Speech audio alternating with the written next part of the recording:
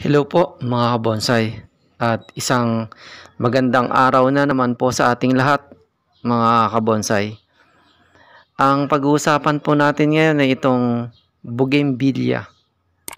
Ito po ay galing sa cuttings at ngayon po ay waware na natin siya hanggat maliliit yung kanyang mga branches. Tara po at umpisahan na natin.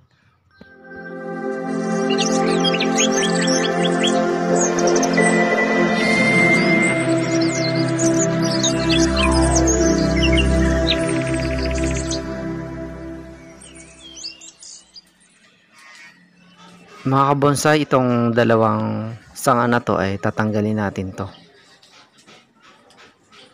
Ayan. At ito namang sa taas, yan ang ititira natin. Yung first branch, second branch at saka third. At umpisa na po natin tanggalin mga kabonsay.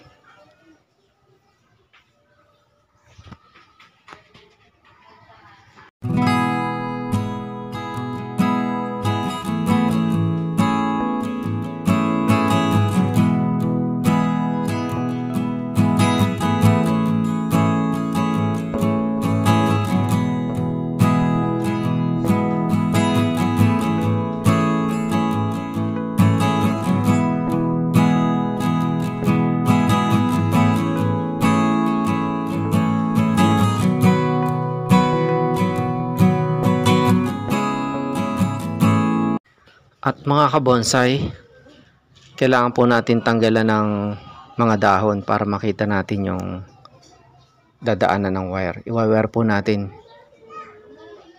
At pagkatapos tatanggalan rin na rin po natin ang mga tinik para hindi tayo matinik mamaya. Yan po.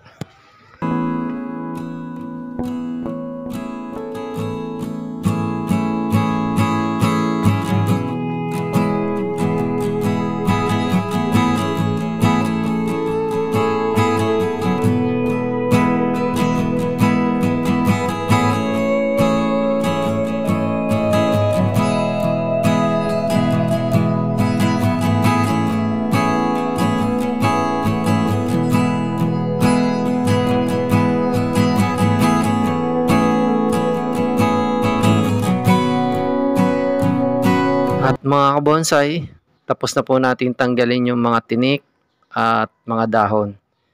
Nagtira lang po tayo ng ilang pirasong dahon sa bandang itaas. At ngayon po ay umpisa na natin na i-wire itong mga branches niya. Ayan po at nag-uumpisa na tayo. Tuloy-tuloy na po na tuloy-tuloy na po ito na i-wire natin.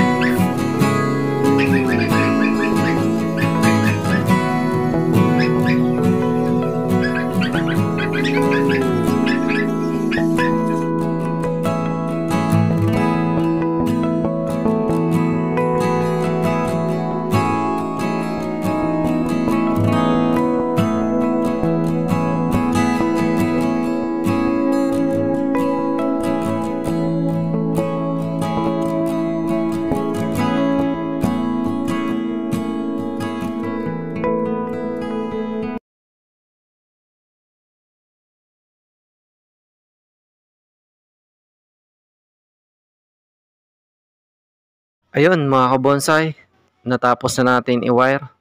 Ngayon naman po ay i-bend natin siya pababa.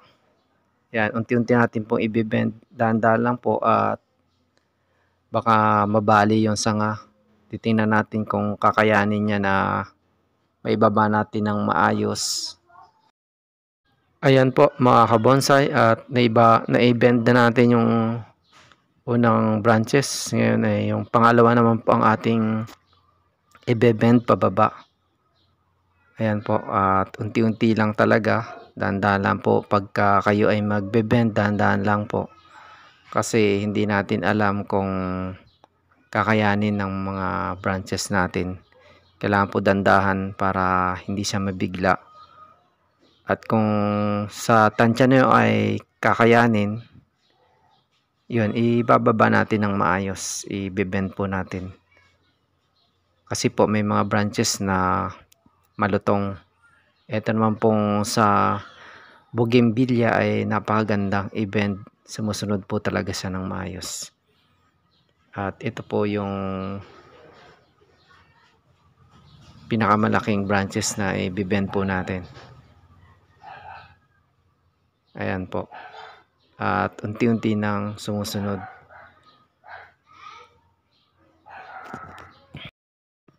At yun mga kabonsai, naibenda po natin yung tatlong branches at maayos po nating na-bend pababa. Ayan po.